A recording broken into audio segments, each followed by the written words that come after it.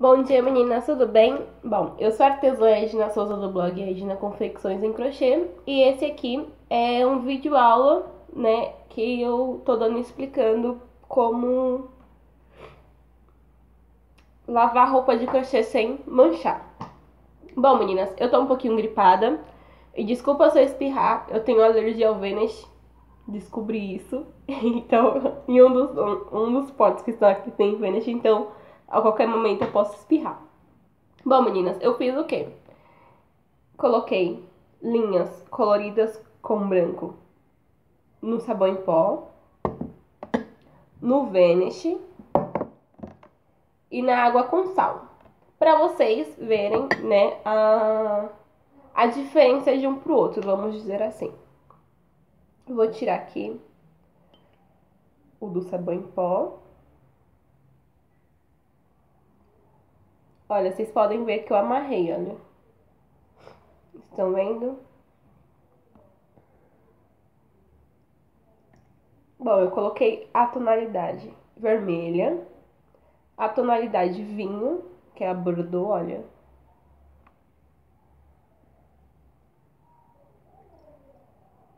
E a tonalidade azul. Bom, meninas, ficou duas horas e pouquinho de molho nisso. E eu vou mostrar pra vocês a diferença de um pro outro.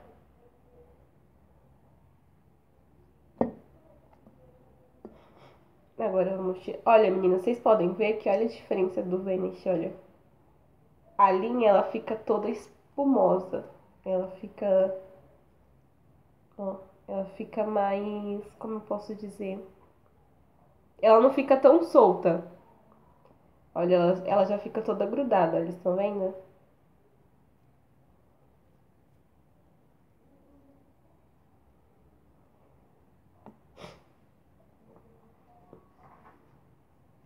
Já com sal, olha como ela fica. Ela fica como se fosse uma linha de crochê normal, só molhada, né?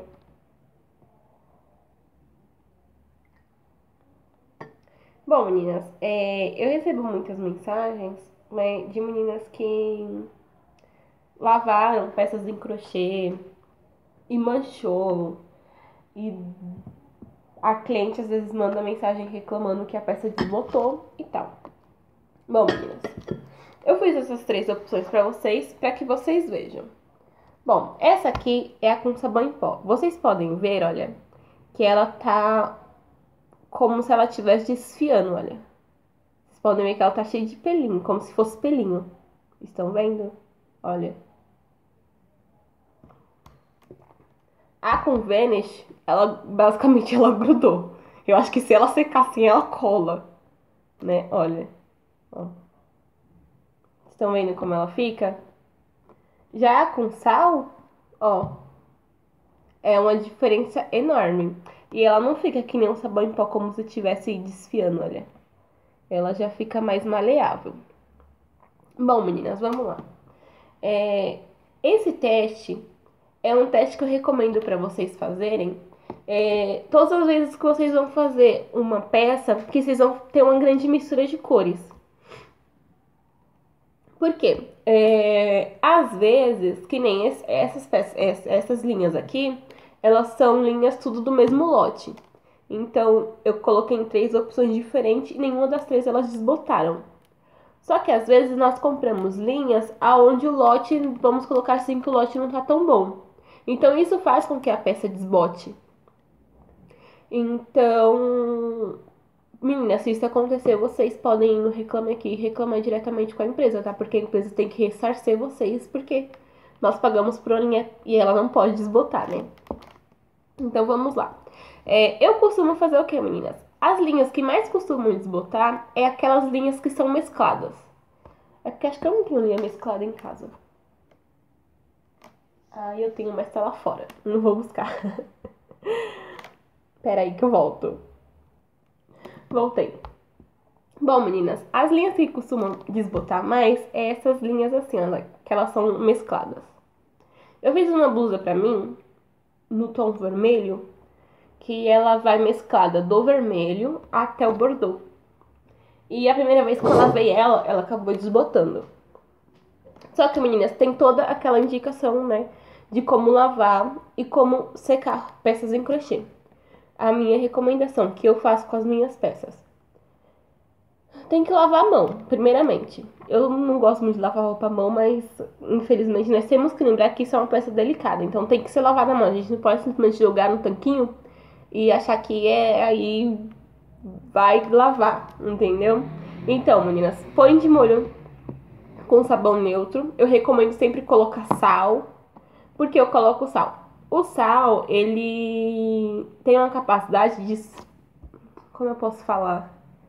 De manter a cor da linha mais tempo. Então, toda lavagem que eu vou fazer da peça, eu costumo lavar com sal. É tanto que as minhas peças mais antigas, elas nunca desbotaram. É, outra coisa. É, quando eu, particularmente, tenho muitas peças em crochê, porque eu amo usar crochê, né, meninas? Então, eu tenho várias, de várias tonalidades. O que eu mais tenho? É vermelho, azul, tons de amarelo e preto. Então, o que, que eu faço?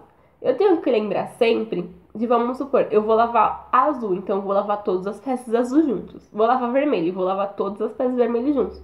Eu não posso pegar e querer misturar a linha, a, a blusa amarela com a linha preta, porque, meninas, principalmente a linha preta. Gente, toma muito cuidado com a linha preta. O que que acontece? Eu fiz uma blusa pra mim, eu fiz um bolero pra mim que mais atrás. Super lindinho. Já faz, acho que uns três anos já que eu tenho esse bolero. E eu inventei de usar ele com a regata branca. Tava muito calor, né? E eu andando no sol. E a linha, ela começou a des... não é desbotar, ela começou a soltar pelinho e esse pelinho grudando na blusa branca. Então a minha blusa branca, ela eu só podia usar ela só com essa blusa preta, porque senão eu não podia usar ela com nenhuma outra peça. Então, meninas, você tem que tomar cuidado na hora de lavagem, principalmente com a linha preta, meninas. Vocês não podem querer lavar preto com amarelo que não vai dar certo. Então, lavar tonalidade com tonalidade, nunca misturar uma tonalidade com a outra, tá bom? É, na hora de torcer, vocês não precisam torcer que a gente torce pano de chão. Aperta a peça um pouquinho para sair a água. E na hora de vocês estenderem, não estende ela que nem a gente estende roupa normal Coloca uma toalha entre um varal e outro e põe a peça em cima, porque dessa forma a peça não vai esticar. Tudo bem? É, eu costumo pendurar as minhas no varal porque é minhas, né, meninas? Então eu não tenho tanto aquele cuidado. Eu não tenho tanto aquele cuidado quanto eu recomendo para os clientes. Mas vocês têm, sempre tem que sempre tem que tomar cuidado com esse detalhe, sempre tem que recomendar para cliente, né, que ela não pode lavar de qualquer jeito. Outra coisa, é... sempre lave com sal, lava a mão. Na hora de estender, não pode estender que nem a gente estende. Tem que colocar uma toalha entre um varal e outro e colocar em cima para ela secar deitada, para ela não esticar. É, eu gosto, meninas, também de usar muito amaciante para lavar roupa. Então, de vez eu colocar muito sabão em pó, eu ponho só uma pitadinha de sabão em pó, bato bem na água para o sabão em pó dissolver bem e coloco amaciante. Porque dessa forma eu só enxago né, na água corrente, espremo ela um pouquinho e coloco no varal. E é isso, meninas. Eu recomendo vocês fazerem esse teste todas as vezes que vocês forem começar um trabalho que vai muitas cores. Vocês podem ver que nos potes eu coloquei o bordô vermelho e o azul, tudo junto para que vocês possam ver, né, o teste, olha. Esse aqui é do sabão em pó. Vocês estão vendo como ele está desfiando, olha. Esse aqui é o do Vanish, ó.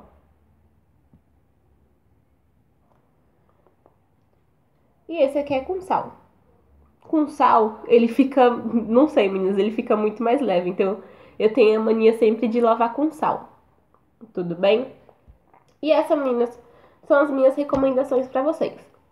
Bom, essa aula era pra ser ao vivo, mas a minha internet não tá boa, então resolvi gravar o vídeo. É, curtam a minha página, se inscreva no meu canal no YouTube. Essa semana terá duas aulas, porque semana passada eu tive alguns imprevistos e não consegui postar a aula. Terá duas aulas essa semana no, no YouTube. Me sigam no Insta, me sigam no Facebook para vocês ficarem sempre dentro das novidades, tá bom?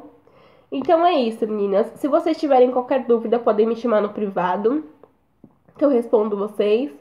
E qualquer dúvida que vocês tiverem, meninas, me mandem mensagem que eu gravo o vídeo explicando, tá bom? Beijo, meninas. Tchau!